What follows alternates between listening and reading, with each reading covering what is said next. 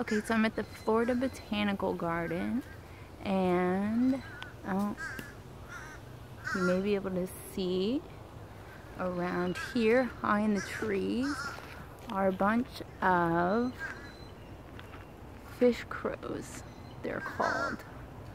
And it's hard to see them because they're black and it's in the afternoon.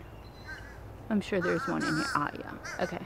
So Fish crows are very social, which is why there are many, many up through here and many flying in and all over.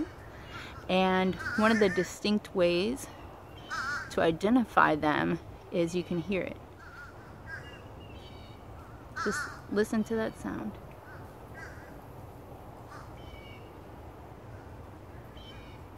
See how it's like, uh-uh, uh-uh.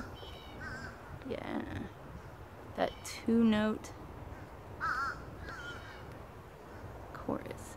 So now you know. Anytime you see a big swarm of crows and they're making that uh-uh sound, those are fish crows that are found all along the coastal southeast. Yay, learn and grow.